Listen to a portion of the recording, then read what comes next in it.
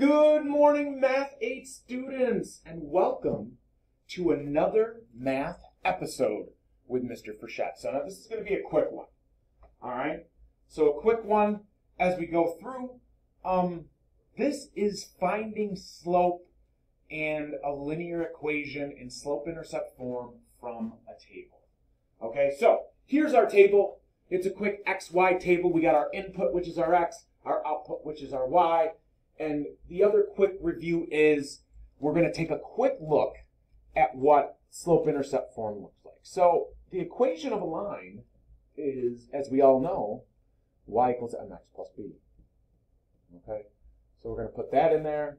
We're going to identify our slope. Our slope is always our m, and our m, being our slope, is always going to be rise over run.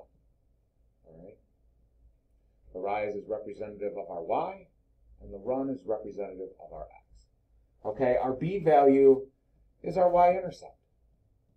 I'm just going to put y-intercept there. That's where the graph begins. Okay, so you can see that. That's up there. That's our quick review. Now I'm going to erase it. Okay, it's gone. So let's take a look at our table. So we have to find a pattern or a sequence. So we'll start out with purple. And if we look at x, we go from negative 1 to 0. And if you look at that, you know that we're adding 1. And if we go from 0 to 1, we know that we're adding 1. If we go from 1 to 2, we're adding 1. If we go to 2 to 3, we're adding 1. That's a constant um, um, change, or that's a constant sequence. Now let's move over to red. We'll go check out our y's. We're going from negative 18 to negative 9.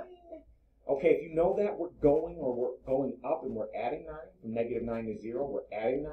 You see that consistency, right? It's happening every time. From 9 to 18, we're going plus 9. Now, like we said before, slope is changing y over change in x.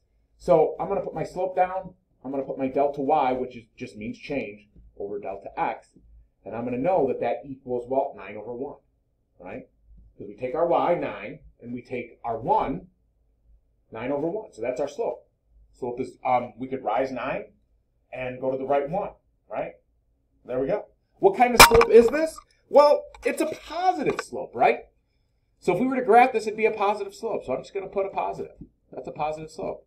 How many slopes do you see? Well, there's only one, right? Not a trick question there. Where does the graph cross the y-axis? Well, if we look at our graph, the alarm system goes off and it says, oh, Mr. Frechette, I know the y, y-intercept, or where this graph is going to cross the y-axis is where I see an x value of 0. Uh-oh, it's right here. There's our x value of 0. What is our y value? It's negative 9. So in this case, our b value, or our starting value, or our initial value, or our starting point, or our beginning, is going to be at negative 9. Okay?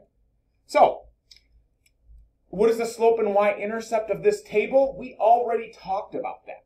So here we're going to put in our equation. What is our equation for this line? We have the information that we need. We have this right here.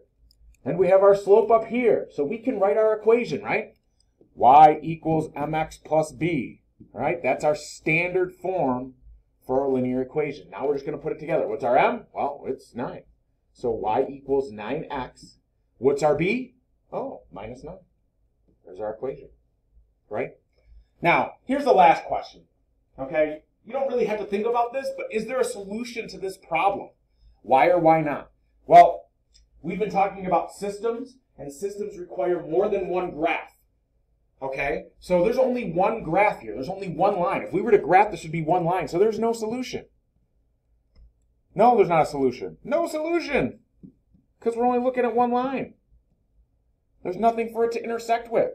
So why or why not? Well, there's nothing for it to intersect with. You only have one line. So that's how we're going to finish this. There's only one line. All right. Peeps, we're done. Any questions or concerns, email me or Miss McKeechik, and we'll see you in class this morning. All right, this is slope and slope-intercept form or a linear equation from a table. Mr. Frechette is out.